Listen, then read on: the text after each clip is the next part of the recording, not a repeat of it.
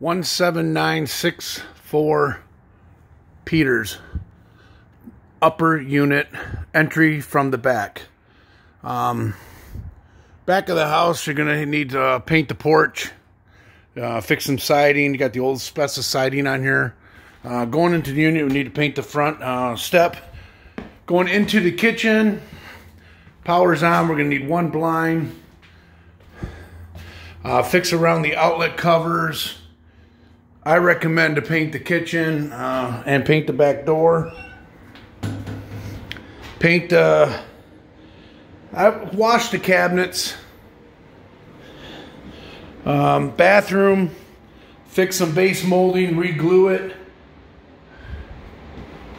Uh, recommend to, the walls are not that bad. I mean, we could get by without renting it. Maybe just clean the bathroom real well.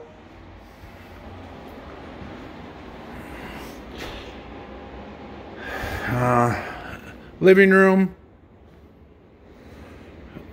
Got some marks on the walls. Um, definitely going to have to paint the trim.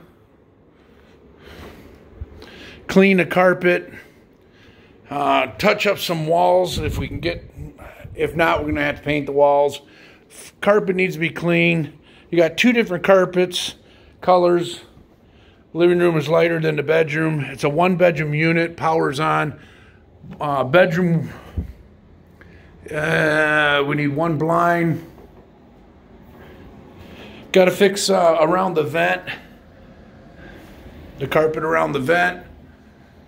Um, we might be able to get away without rent, uh, painting the walls, just kind of clean them up.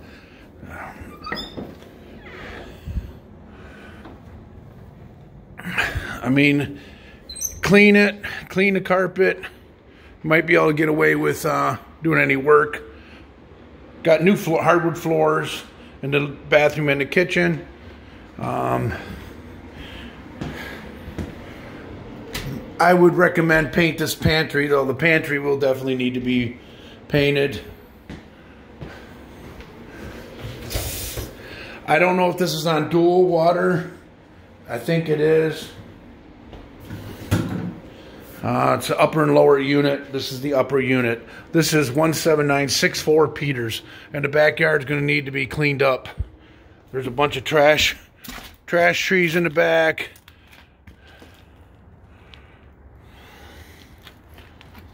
Yeah couple shingle laying on the ground, but uh, this is uh, 17964 Peters.